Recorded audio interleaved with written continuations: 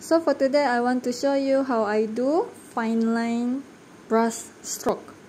Thank you for your sweet response. I will answer you in this video. 始めましょう。I sometimes use this fine line brush. This is very small brush.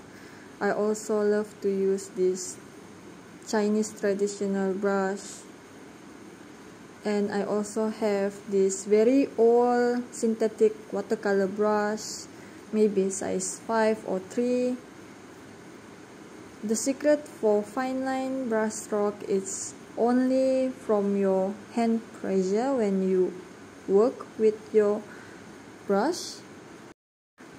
So the closer my hand to the brush I have more control when I'm stroke the line.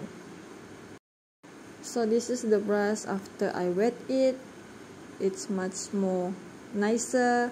And then see if I hold my hand further from the brush from the paper I have less control.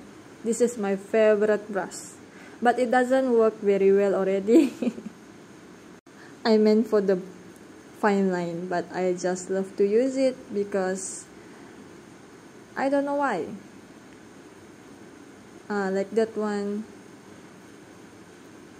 You can play around with the stroke with the pressure. You want bigger stroke you can put more pressure.